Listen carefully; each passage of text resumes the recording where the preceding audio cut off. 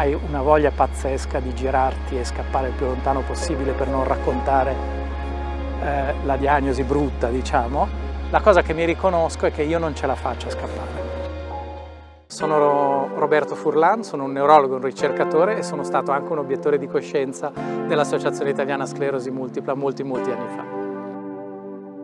Negli occhi delle persone che ricevono la diagnosi di sclerosi multipla c'è la paura, c'è la paura dell'incertezza del futuro. All'inizio veramente c'è la diffidenza perché non sanno se fidarsi delle parole di chi hanno di fronte, non sanno se quelle parole di incoraggiamento sul fatto che esiste una terapia che funzionerà siano reali, siano vere, siano assolutamente credibili o se invece siano solo consolazioni. Non c'è una scuola che può insegnarti come si comunica correttamente una diagnosi.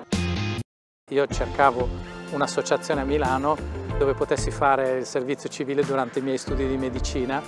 Cosa ha significato? Mi ha cambiato la vita. Ho visto persone diventare la propria malattia, a prescindere dal grado di disabilità e quindi rovinarsela e diventare infelici perennemente e ho visto persone anche con disabilità importanti che non sono mai diventate la propria malattia ma hanno figli, hanno professioni, hanno relazioni bellissime e cerco di raccontare questo cercando di incoraggiarli soprattutto a cercare l'aiuto che serve per non diventare la propria malattia. Roberto nella vita privata è un padre innanzitutto e anche un marito, eh, non secondariamente al fatto di essere padre e il mio matrimonio è stato una festa di beneficenza per AISM perché con mia moglie ci siamo sposati dopo 23, avevo perso il conto, 23-24 anni che stavamo assieme e francamente l'idea di fare una grande festa in cui poi dovevo riciclare eh, servizi da tè, servizi da caffè, pentole, mi hanno detto no, assolutamente no.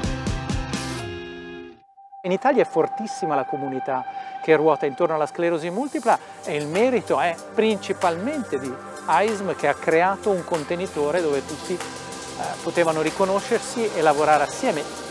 Ho il privilegio di aver visto questa straordinaria cavalcata degli ultimi eh, oramai 28 anni perché è nel 1994 che arrivano i primi farmaci,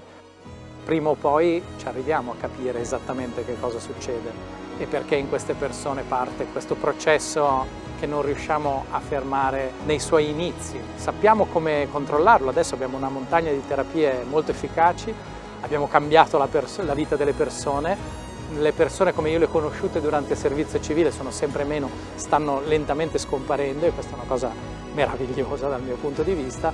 ma la causa, qual è esattamente il motivo per cui parte rimane elusivo e questa è una cosa che ehm, è il sale della vita di un ricercatore. Tu vuoi un mistero da svelare,